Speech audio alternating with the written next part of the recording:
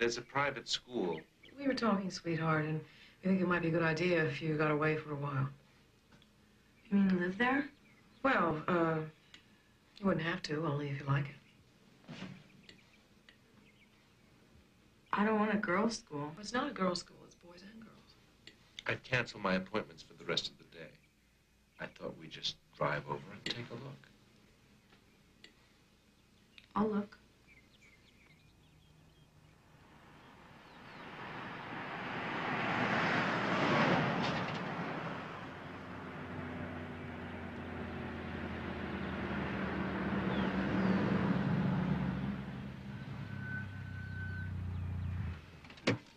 It's a dump. We'll see.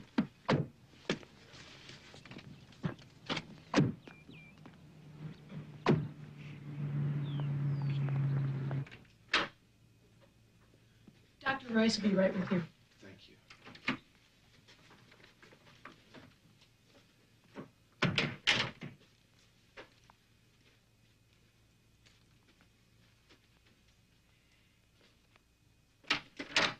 Dr. Bauer, I'm Curtis Rice. Doctor, my wife Helen. Hello. Here. This is my daughter Susan. Hi, Susan. Hi, Susan. I'm Jean. Hi. I'm Wendy. We're druggies, too. What is this? Where am I? What do you mean, druggies too? I'm no druggie. Sweetheart, we had no alternative. It's a place, a treatment program for kids on drugs. All I've ever done is, is pot and stuff. I'm not crazy. I can handle it. You don't even know what's real anymore. I do. Daddy, I know. I know what's real. I'll go to school, honest. I'll go tomorrow. You can take me. You can call and see. Honest, Daddy, please. It's because we love you. We can't let you do things to keep on hurting yourself anymore.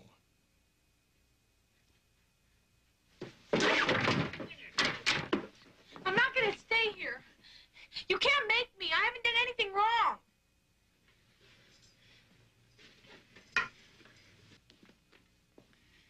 The message is, you've screwed up your life, Susan. Badly enough that your parents here finally said, hey, no more. You've blown your family, your school, your ability to walk around free, the privilege of people trusting you. So someone else is going to be in charge of you now. Another young person. A druggie just like you, but someone who's far enough along in her program to have earned some of those rights back, especially the right to be trusted enough to be responsible for herself. Now, Wendy's going to be responsible for you until you start to look at what drugs have done to your life. You will go nowhere unless she leads you.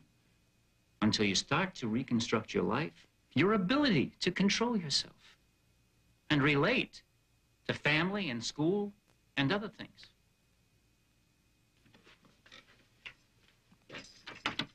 I'll kill myself. I swear I will. Susan. I never want to see you again. I hate you. I hope you die.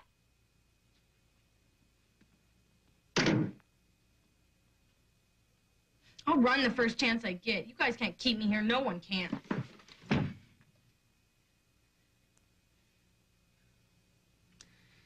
We've been too permissive, I think. I'm not blaming. I'm getting at the core. Something else is upsetting your wife, Dr. Bauer. Uh, well, you, this business you said in there about um, another girl leading her places. By the forearm. What are those girls? Wendy. Why? To let her know that uh, she's not trusted. That her life is out of control. And that someone cares.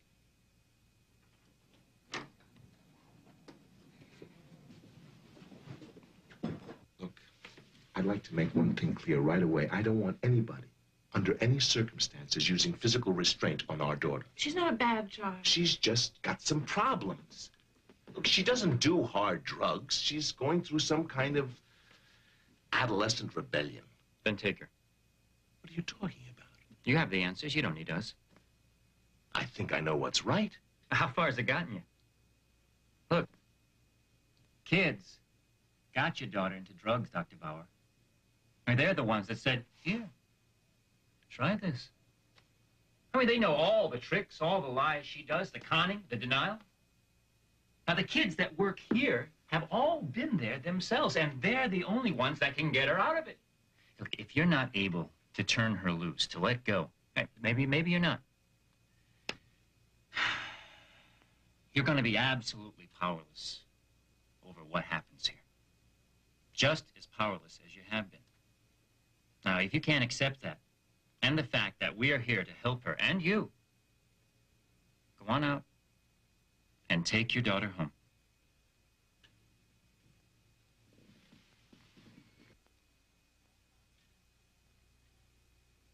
No talking during meetings unless you're asked to speak. No fighting or shoving. No answering or making telephone calls.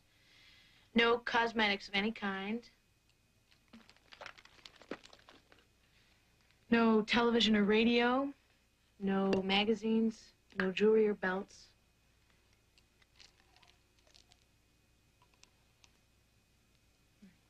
No chewing gum or candy. No profanity or obscene gestures. And no visitors without prior permission.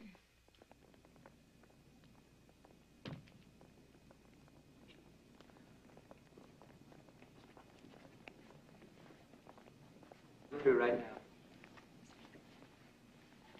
Do you feel good? Empty. Do you like that feeling? No. No, I feel like a piece of crap all the time. And I, I don't know how to stop it. This is Susan Bauer. She says she's done alcohol and pot. She's 15. Does anybody know her? Carol. I've seen her in school. She's done a lot more than pot and alcohol. I've seen her do LSD, PCP, crystal meth, and mushrooms. What's the first rule we learn in your group? Be honest. Okay, sit down.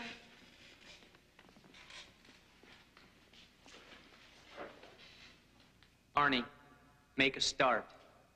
Just do it right now, for once and for all. Stop feeling like crap all the time. Start to feel good about yourself. You can do it. I feel What? I feel angry. That's easy. Feeling angry's easy. I feel embarrassed. That's a cop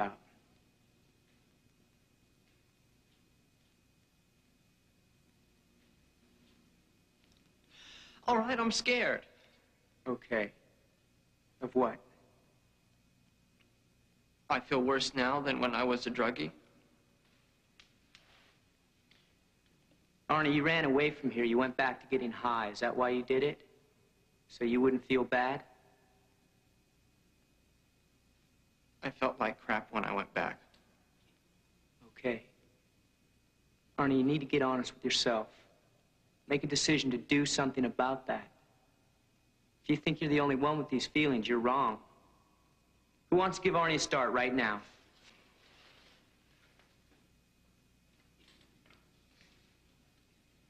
Sit down. Love you, Arnie. Kevin?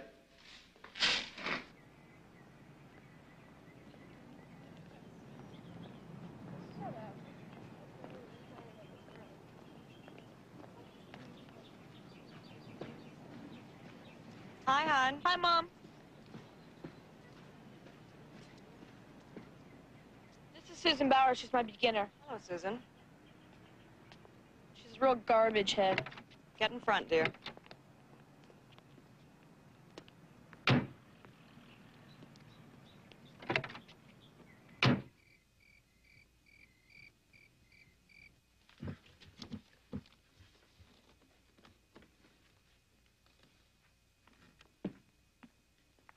Those nails weren't put there for you, Susan. They've been there a while. I'm not going to talk to you. You feel all your supports are gone, don't you? That you're at everyone's mercy?